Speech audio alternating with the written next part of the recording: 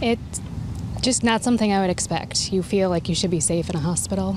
He's accused of preying on vulnerable patients. Giovanni Echevarria is a former nurse at Cape Coral Hospital. Now, several patients say he raped them in their hospital rooms.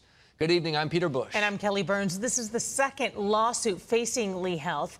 The former nurse already facing charges for sexually assaulting a patient in 2015. As NBC2's Dave Elias discovered, that investigation went nowhere until another patient came forward saying she too was raped in her hospital bed. Dave. Yeah, I obtained these today. More than 137 pages here today after requesting them from Lee Health, all of them in Echevarria's employee file at the hospital. Now, they reveal what kind of nurse he was while working at the Cape Hospital. Many of the comments are made by dozens of patients that he cared for.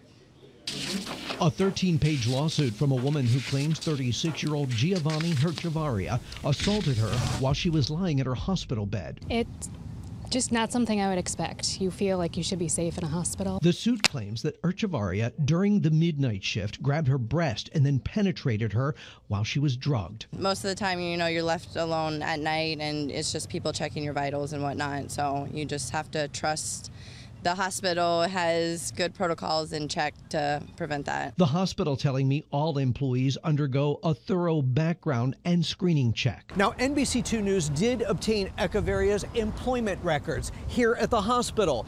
They show positive reviews by patients, and they make no mention of unprofessional or violent behavior. Instead, patients calling him extremely patient, happy, and professional, and another saying they need more nurses like him. Every time you go to the hospital, you think, you're in a safe place. But the attorney who filed the suit disagrees. My client is seeking justice for what happened to her, especially at a time when nobody believed her. The patient's claims were investigated after they happened, but the investigator said there wasn't enough evidence and charges were dropped. Then another woman came forward. Very similar circumstances, which is scary. It's very similar uh, patient profiles. We went to Echevarria's last known address before the hospital fired him. He didn't answer.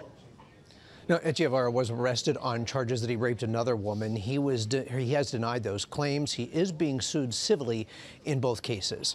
Live in the newsroom tonight, Dave Elias, NBC2. A news alert tonight. We have learned